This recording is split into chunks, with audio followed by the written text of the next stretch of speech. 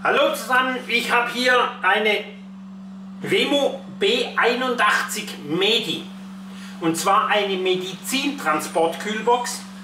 Wir bauen ja verschiedene Kühlboxen, die Standard für den Campingbereich, Bootsbereich oder auch human. Dann bauen wir Tiefkühlversionen, Tieftemperaturversionen, also bis minus 80 Grad und dann auch eine Medi-Version.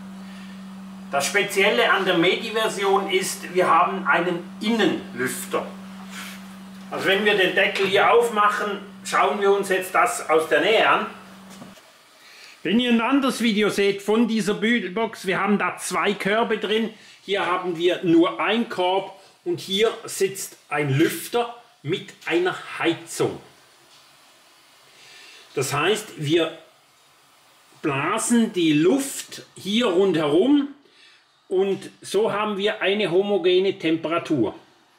Über das Display hier können wir die Temperatur einstellen, zum Beispiel plus 5 Grad. Und dann, wenn die Temperatur unter 4 Grad sinkt, fängt die Heizung an zu laufen. Und wenn sie über 6 Grad steigt, fängt die Kühlmaschine an zu laufen. Wir sehen hier die Anschlüsse. Wir haben einen 230 Volt Anschluss, 110 bis 240 und wir haben 12 Volt Anschluss und hier sehen wir das Tippenschild, das ist eine B81 Medi, ist mittlerweile bald Standard. Diese Box brauchen wir oder unsere Kunden brauchen das für Medizintransport. Wir haben hier 80 Liter drin, wir haben solche, die fahren äh, Blut, sonstige Medikamente, einfach sobald ich in der Box drin eine stabile Temperatur brauche.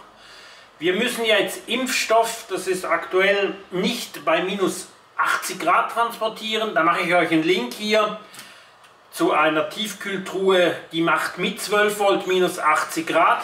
Hier unten eine zweite mit 200 Liter und 12 Volt. Hier die Tiefkühlversion für Tiefkühltransporte, die bei minus plus 50 Grad immer noch minus 20 macht.